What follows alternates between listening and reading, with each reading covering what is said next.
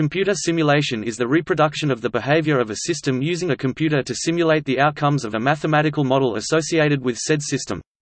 Since they allow to check the reliability of chosen mathematical models, computer simulations have become a useful tool for the mathematical modeling of many natural systems in physics computational physics, astrophysics, climatology, chemistry, biology and manufacturing, human systems in economics, psychology, social science, health care and engineering. Simulation of a system is represented as the running of the system's model. It can be used to explore and gain new insights into new technology and to estimate the performance of systems too complex for analytical solutions. Computer simulations are realized by running computer programs that can be either small, running almost instantly on small devices, or large scale programs that run for hours or days on network based groups of computers. The scale of events being simulated by computer simulations has far exceeded anything possible or perhaps even imaginable using traditional paper and pencil mathematical modeling. Over 10 years ago, a desert battle simulation of one force invading another involved the modeling of 66,239 tanks, trucks and other vehicles on simulated terrain around Kuwait, using multiple supercomputers in the DOD High Performance Computer Modernization Program. Other examples include a 1 billion atom model of material deformation, a 2.64 million atom model of the complex protein-producing organelle of all living organisms, the ribosome, in 2005, a complete simulation of the life cycle of Mycoplasma genitalium in 2012, and the Blue Brain project at EPFL Switzerland, begun in May 2005 to create the first computer simulation of the entire human brain, right down to the molecular level. Because of the computational cost of simulation, computer experiments are used to perform inference such as uncertainty quantification.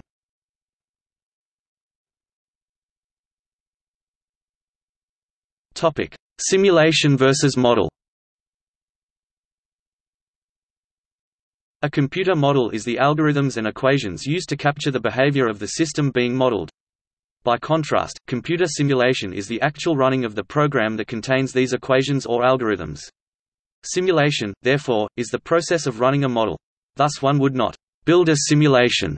Instead, one would build a model, and then either run the model, or equivalently, run a simulation.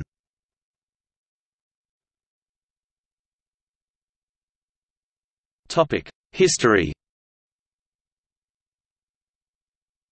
Computer simulation developed hand in hand with the rapid growth of the computer, following its first large-scale deployment during the Manhattan Project in World War II to model the process of nuclear detonation.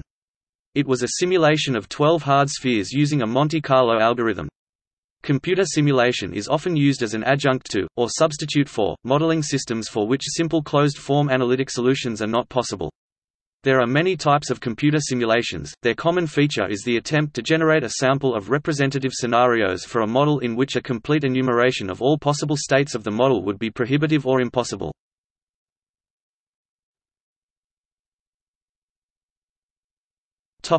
Data preparation The external data requirements of simulations and models vary widely. For some, the input might be just a few numbers for example, simulation of a waveform of AC electricity on a wire, while others might require terabytes of information such as weather and climate models. Input sources also vary widely.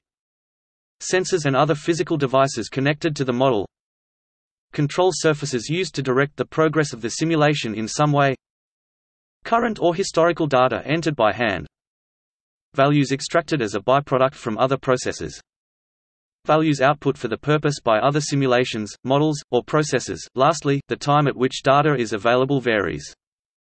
Invariant data is often built into the model code, either because the value is truly invariant e.g., the value of pi or because the designers consider the value to be invariant for all cases of interest. Data can be entered into the simulation when it starts up, for example by reading one or more files, or by reading data from a preprocessor. Data can be provided during the simulation run, for example by a sensor network. Because of this variety, and because diverse simulation systems have many common elements, there are a large number of specialized simulation languages. The best known may be Simula sometimes called SIMULA 67, after the year 1967 when it was proposed. There are now many others. Systems that accept data from external sources must be very careful in knowing what they are receiving. While it is easy for computers to read in values from text or binary files, what is much harder is knowing what the accuracy compared to measurement resolution and precision of the values are. Often they are expressed as error bars, a minimum and maximum deviation from the value range within which the true value is expected to lie. Because digital computer mathematics is not perfect, rounding and truncation errors multiply this error, so it is useful to perform an error analysis to confirm that values output by the simulation will still be usefully accurate. Even small errors in the original data can accumulate into substantial error later in the simulation. While all computer analysis is subject to the GIGO garbage in, garbage out restriction, this is especially true of digital simulation. Indeed, observation of this inherent, cumulative error in digital systems was the main catalyst for the development of chaos theory.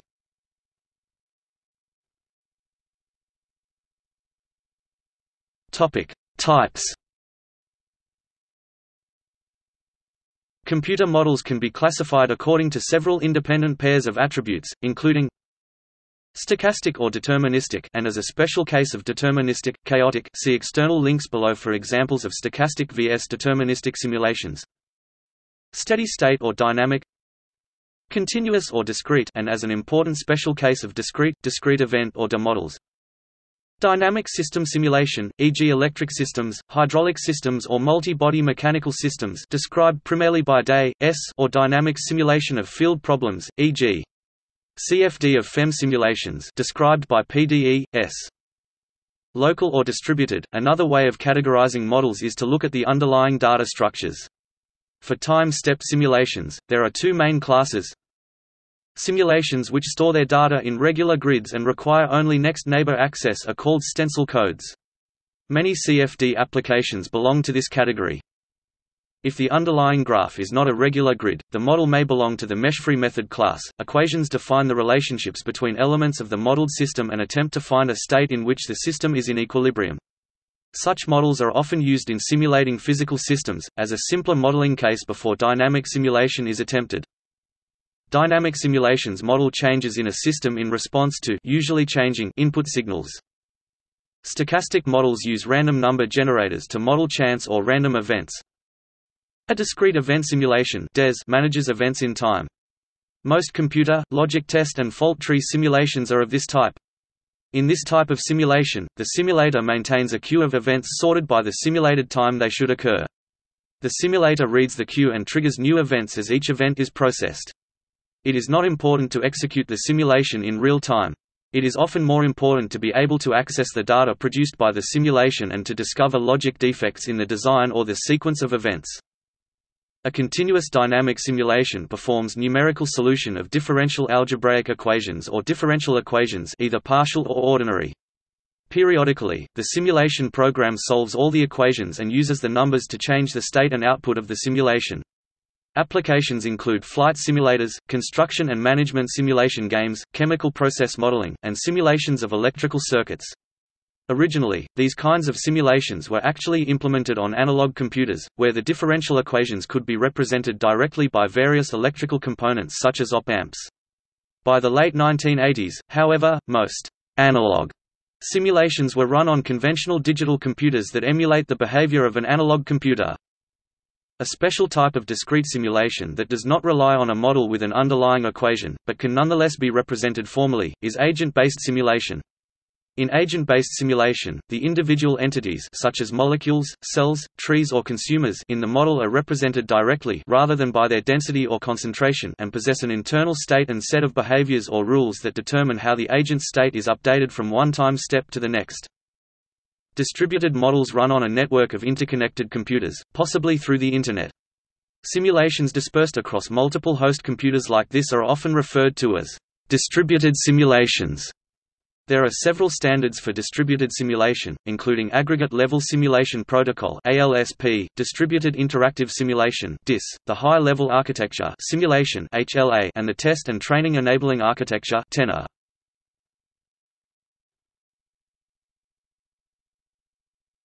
Topic: Visualization. Formally, the output data from a computer simulation was sometimes presented in a table or a matrix showing how data were affected by numerous changes in the simulation parameters. The use of the matrix format was related to traditional use of the matrix concept in mathematical models. However, psychologists and others noted that humans could quickly perceive trends by looking at graphs or even moving images or motion pictures generated from the data, as displayed by computer-generated imagery CGI animation.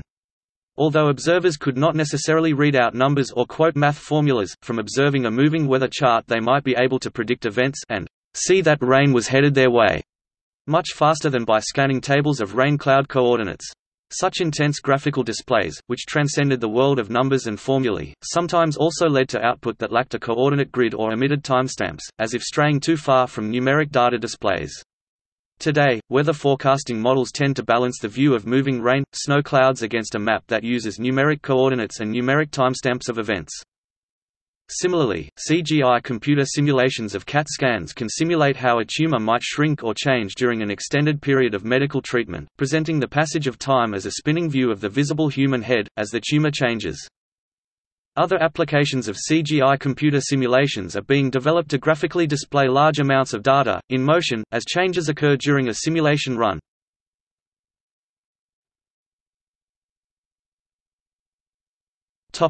Computer simulation in science. Generic examples of types of computer simulations in science, which are derived from an underlying mathematical description. A numerical simulation of differential equations that cannot be solved analytically, theories that involve continuous systems such as phenomena in physical cosmology, fluid dynamics e.g., climate models, roadway noise models, roadway air dispersion models, continuum mechanics and chemical kinetics fall into this category, a stochastic simulation, typically used for discrete systems where events occur probabilistically and which cannot be described directly with differential equations this is a discrete simulation in the above sense. Phenomena in this category include genetic drift, biochemical or gene regulatory networks with small numbers of molecules, see also, Monte Carlo method. Multiparticle simulation of the response of nanomaterials at multiple scales to an applied force for the purpose of modeling their thermoelastic and thermodynamic properties. Techniques used for such simulations are molecular dynamics, molecular mechanics, Monte Carlo method, and multiscale Green's function. Specific examples of computer simulations follow. Statistical simulations based upon an agglomeration of a large number of input profiles, such as the forecasting of equilibrium temperature of receiving waters, allowing the gamut of meteorological data to be input for a specific locale. This technique was developed for thermal pollution forecasting. Agent-based simulation has been used effectively in ecology, where it is often called individual-based modeling, and is used in situations for which individual variability in the agents cannot be neglected, such as population dynamics of salmon and trout most purely mathematical models assume all trout behave identically. Time-step dynamic model in hydrology there are several such hydrology transport models such as the SWMM and DSSAM models developed by the U.S. Environmental Protection Agency for river water quality forecasting. Computer simulations have also been used to formally model theories of human cognition and performance, e.g., ACT-R. Computer simulation using molecular modeling for drug discovery. Computer simulation to model viral infection in mammalian cells Computer simulation for studying the selective sensitivity of bonds by mechanochemistry during grinding of organic molecules. Computational fluid dynamics simulations are used to simulate the behavior of flowing air, water and other fluids. One, two and three-dimensional models are used. A one-dimensional model might simulate the effects of water hammer in a pipe. A two-dimensional model might be used to simulate the drag forces on the cross-section of an aeroplane wing. A three-dimensional simulation might estimate the heating and cooling requirements of a large building. An understanding of statistical thermodynamic molecular theory is fundamental to the appreciation of molecular solutions. Development of the potential distribution theorem (PDT) allows this complex subject to be simplified to down-to-earth presentations of molecular theory. Notable and sometimes controversial computer simulations used in science include Donella Meadows' World 3 used in The Limits to Growth, James Lovelock's DaisyWorld and Thomas Ray's Tierra. In social sciences, computer simulation is an integral component of the five angles of analysis fostered by the data percolation methodology, which also includes qualitative and quantitative methods, reviews of the literature including scholarly, and interviews with experts, and which forms an extension of data triangulation.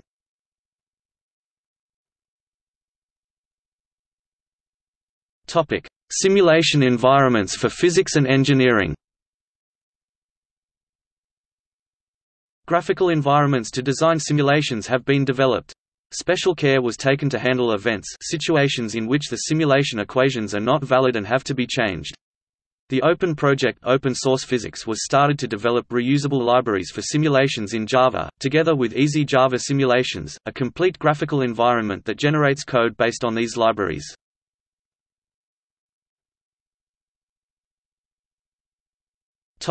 Simulation environments for linguistics Taiwanese Tone Group Parser is a simulator of Taiwanese tone sandhi acquisition. In practical, the method using linguistic theory to implement the Taiwanese tone group parser is a way to apply knowledge engineering technique to build the experiment environment of computer simulation for language acquisition. A work-in-process version of Artificial Tone Group Parser that includes a knowledge base and an executable program file for Microsoft Windows System XP, Win 7 can be downloaded for evaluation.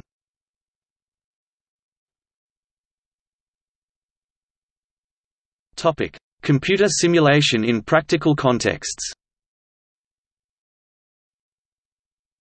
Computer simulations are used in a wide variety of practical contexts, such as analysis of air pollutant dispersion using atmospheric dispersion modeling, design of complex systems such as aircraft and also logistics systems, design of noise barriers to affect roadway noise mitigation, modeling of application performance, Flight simulators to train pilots.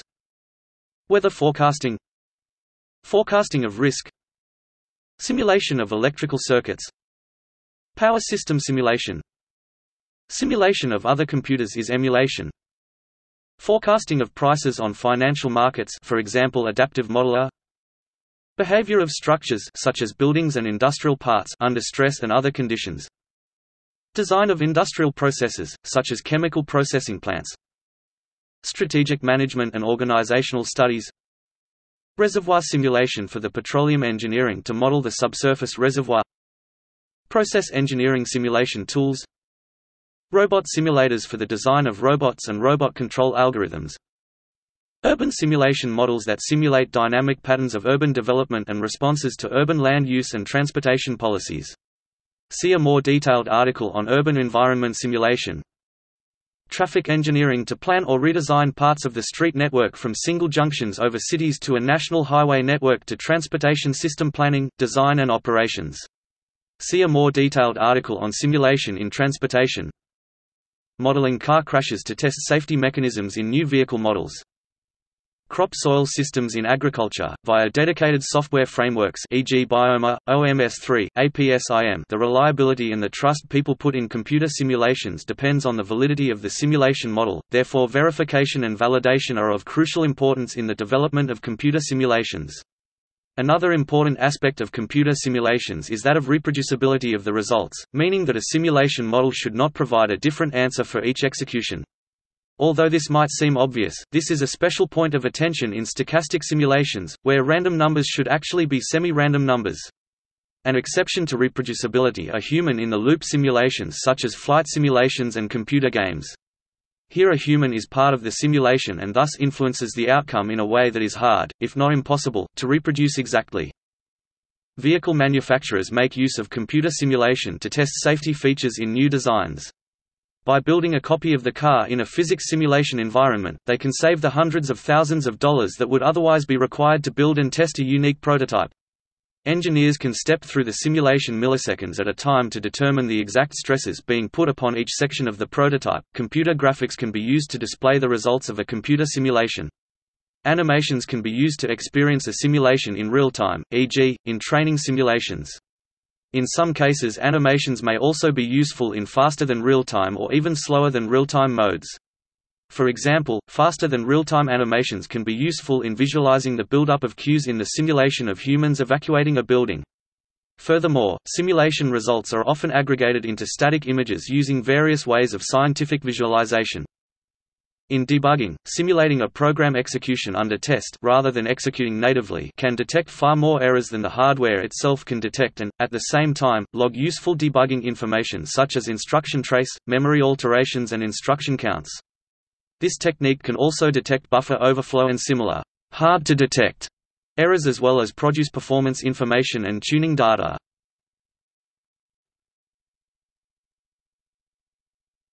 Topic: Pitfalls. Although sometimes ignored in computer simulations, it is very important to perform a sensitivity analysis to ensure that the accuracy of the results is properly understood. For example, the probabilistic risk analysis of factors determining the success of an oilfield exploration program involves combining samples from a variety of statistical distributions using the Monte Carlo method. If, for instance, one of the key parameters e.g., the net ratio of oil-bearing strata is known to only one significant figure, then the result of the simulation might not be more precise than one significant figure, although it might misleadingly be presented as having four significant figures.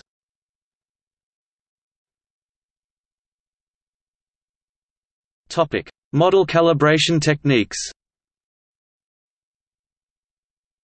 The following three steps should be used to produce accurate simulation models, calibration, verification, and validation. Computer simulations are good at portraying and comparing theoretical scenarios, but in order to accurately model actual case studies they have to match what is actually happening today. A base model should be created and calibrated so that it matches the area being studied. The calibrated model should then be verified to ensure that the model is operating as expected based on the inputs. Once the model has been verified, the final step is to validate the model by comparing the outputs to historical data from the study area. This can be done by using statistical techniques and ensuring an adequate R-squared value. Unless these techniques are employed, the simulation model created will produce inaccurate results and not be a useful prediction tool. Model calibration is achieved by adjusting any available parameters in order to adjust how the model operates and simulates the process. For example, in traffic simulation, typical parameters include look-ahead distance, car following sensitivity, discharge headway, and startup lost time. These parameters influence driver behavior such as when and how long it takes a driver to change lanes, how much distance a driver leaves between his car and the car in front of it, and how quickly a driver starts to accelerate through an intersection.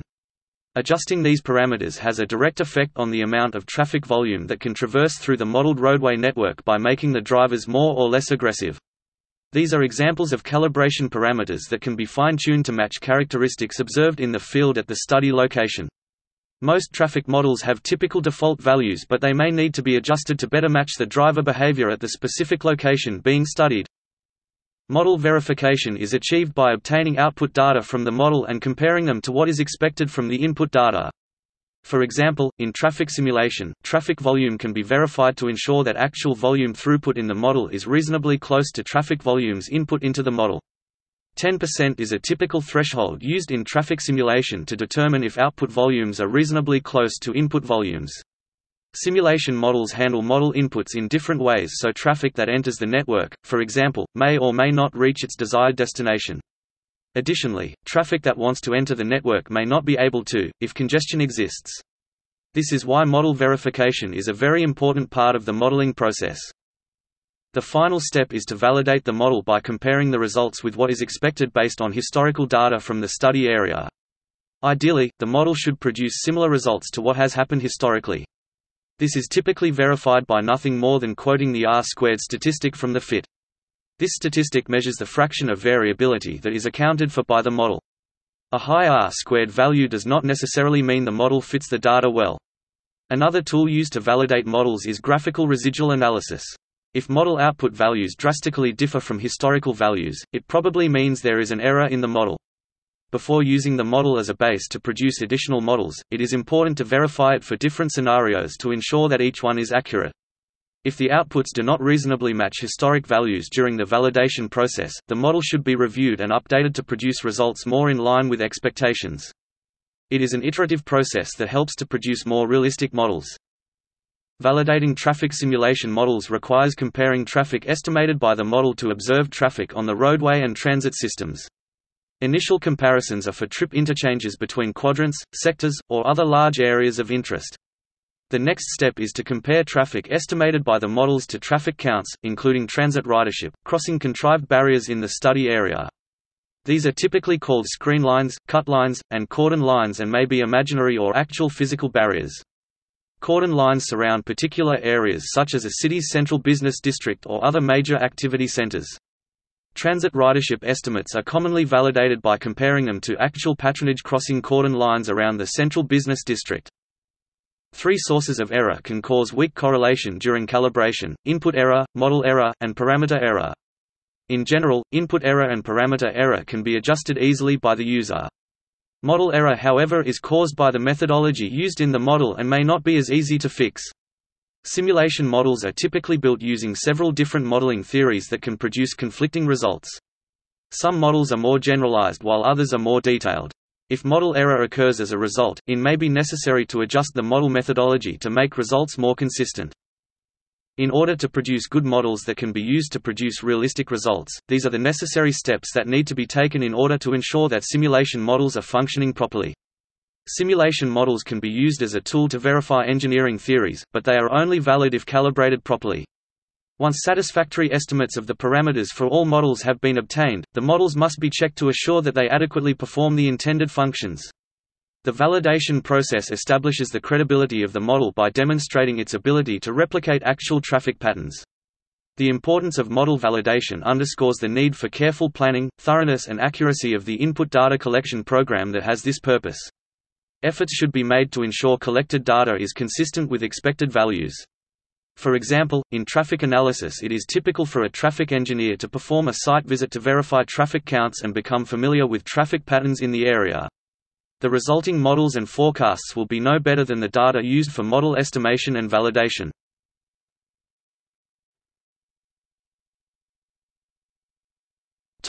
See also Computational model Emulator Energy modeling List of computer simulation software Stencil code Virtual prototyping Web-based simulation